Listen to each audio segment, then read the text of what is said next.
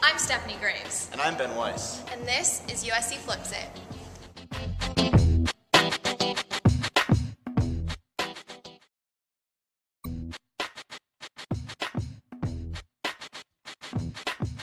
Um, probably uh, Hines Ward or um, Adrian Peterson. Probably Mark Sanchez.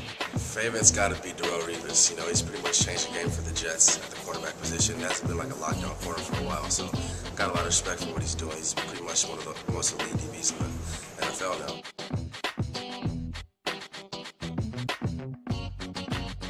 Cake batter with cookie dough and brownie. What about cookie dough? That count? Yes.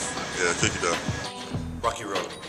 Rainbow sherbet. I'm a sucker for that. Since I've been a kid, I love flavor. My mom always got me that after school one day, so still my favorite at 21 years old.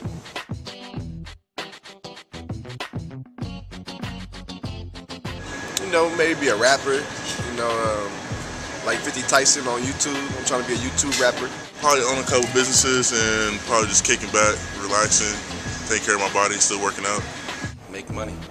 Like, I have a business degree, so I don't know. I'm, I'm probably gonna go into real estate or something like that. But you know, honestly, all my options are open. It might be music, so who knows? I guess we'll find out. Ask me that in two years.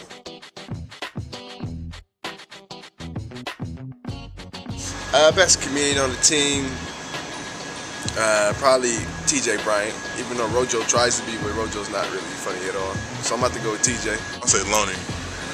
Loney, always cracking jokes, he face funniest things. Chris Colombo. Gotta give it to CJ Gable. He's, he's, he has Joker tattooed on his arm, so he's never ceases to make me laugh.